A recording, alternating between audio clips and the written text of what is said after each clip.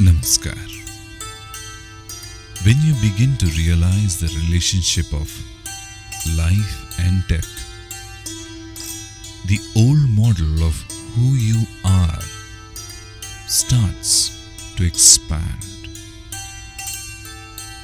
As your old model dies, something new happens. You begin to experience directly the living truth of dying and being reborn again in each moment. When you live in the moment, then death is just another moment. Death as an event is a ritual, a rite of passage like puberty or marriage or any of the big things that are dramatic new moments in life. What else can prepare you to die but the way in which you live your life? Living in this moment is what it's all about.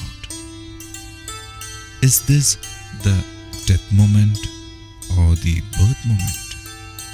Is this moment a death of who you thought you were or the birth of who you are about to become? So, when you are with a dying person, you get a taste of the infinite. That view of the infinite gives you a look at time and space from a completely different perspective. You also get to rest, at least for some time, in a place of unconditional love. And from that loving perspective, you can love your negative thoughts and emotions. You can love yourself to death, which is a dramatic way of saying that you begin to see that the negative karma gets released by love.